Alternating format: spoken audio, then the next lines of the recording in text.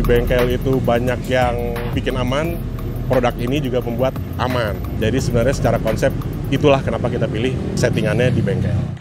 Tidak berkesan vulgar, eh, hal-hal yang bersangkutan dengan produk disampaikan dengan cara yang berbeda. I feel happy because I'm with a part of these people that are very hardworking and very nice. So it's much like I'm I'm not really working. I'm like just enjoying. Yo, roll. And action.